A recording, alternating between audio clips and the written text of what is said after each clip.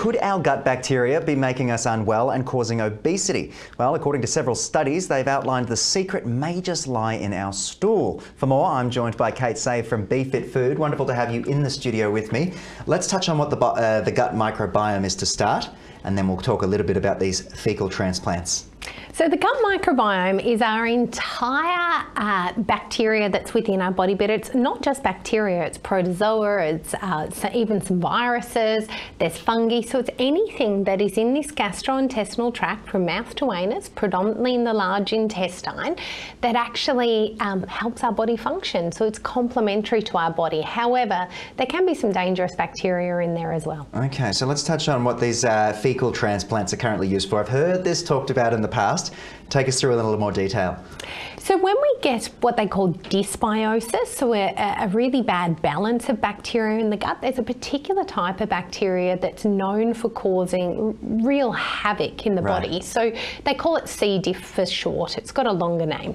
Now with the C. diff, it actually can destroy people's lives. It's, it's also known to cause death. It can be quite fatal. So people live for years sometimes with these recurring infections and once you've had it once, the recurrence rates become higher and higher each time you get it. And the, the current treatment has been antibiotics, but every time you take antibiotics, you're, you're mm. killing off good bacteria and the bad stuff keeps coming back. So now they're using these fecal matter transplants or FMT to actually recolonize the gut. And what they have seen is up to a 90% recovery rate in these people with C. diff.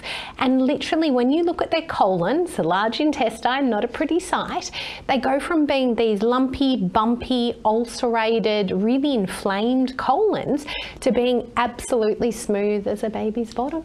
Interesting. Okay, and as, as we were showing me off air before some of the procedures, I was getting a little woozy. Let's talk a bit about the studies that um, in rats taught us about weight gain, I guess, in a Western diet and how it can be mediated with one of these transplants. Tell us what you've sort of read and seen. Yeah, look, there is so much research out there in the way of these fecal matter transplants, and most of it is inconclusive. So if anyone says they've got the answer to yeah. the gut microbiome and what probiotics to take and what transplants to have, they don't because the research is just not there and it's not conclusive. C. diff it is.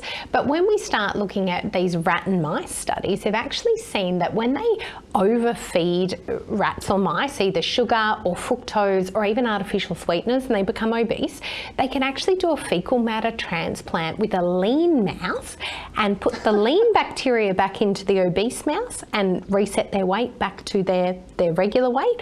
Or they can take the bacteria or the feces from the rat and put it into the lean mouse, and then that lean mouse becomes obese. They don't change their food, they don't change their activity, they just transplant that fecal matter. It is incredible what um, you know science can do. Let's touch on what stool banking is. Tell me about this.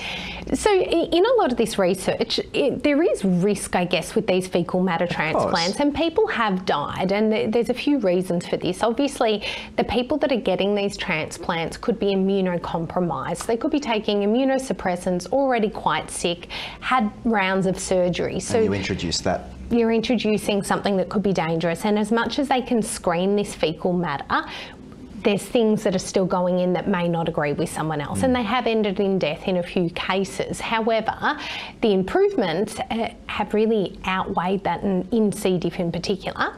And when we're thinking about this on a whole, I guess, what we're starting to see is there's just so much we don't know, oh, yeah. and the power of the gut microbiome and how we can harness this. And the key is actually having a really good diet and if you are taking antibiotics, make sure that you are replacing that good bacteria that you're removing from the antibiotics. Otherwise, you can end up down this path. Some really good advice there, and I'm glad you're the one out there doing the research and reading and watching these videos and whatnot. But what does the future of obesity management look like? Uh, weight loss pills, injections, uh, bariatric surgery? And fecal transplant? Well, uh, with the fecal transplants, we've only seen it really work in the, the rat and mice studies. Okay. There have been human studies, but a lot of the studies aren't out there, don't have control arms, or they're in a very small population, so they're not showing us conclusive evidence yet. Okay. What they're wanting to look further into is particular species. So rather than doing a fecal matter transplant of every type of bacteria that's in that gut, that could be thousands, it might be specific types of bacteria that people need need. So actually drilling down to which bacteria is more beneficial. And the reason why they do it with fecal matter transplants in conditions like C. difficile is because you can't take that many crapsules, so pills full of crap, because you will need a lot of them. So they actually mix the fecal matter with saline solution, created a, a liquid that they actually squirt into um, the intestine. So they can either do that by going up one end or down the other end, or um, they can take these pills. But that's that's why and how it's done. And when it comes to weight management, nothing at the moment really beats actually trying to do it yourself with a whole food diet, yeah. reducing your sugars, processed food is the absolute number one killer of a good diet, and some regular daily exercise. Build up some lean body mass, get some more protein in chuck out all the processed food. Yeah. Kate, as always, thank you for joining me on the program. As you started to mention those procedures, I started to get a little woozy, but um, look forward to see, speaking to you again next week, and thank you again for your time. Thank you.